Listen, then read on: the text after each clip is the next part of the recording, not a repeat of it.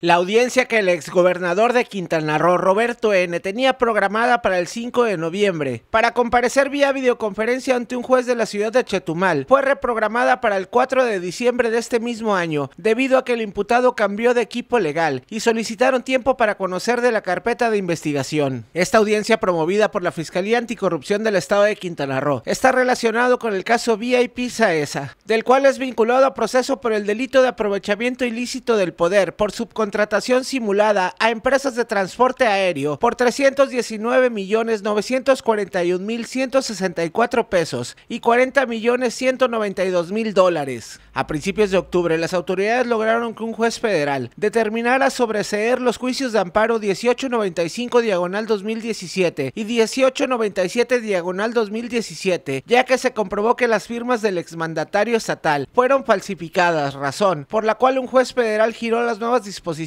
para que el exgobernador enfrente la justicia en Quintana Roo, con el objetivo de que pueda responder a las acusaciones formuladas. El 4 de enero de 2018, Roberto N. fue extraditado a México e ingresó por error a la cárcel de mujeres para luego ser recluido en el Centro Federal de Readaptación Psicosocial, CEFEREPSI, en Ayala, Morelos.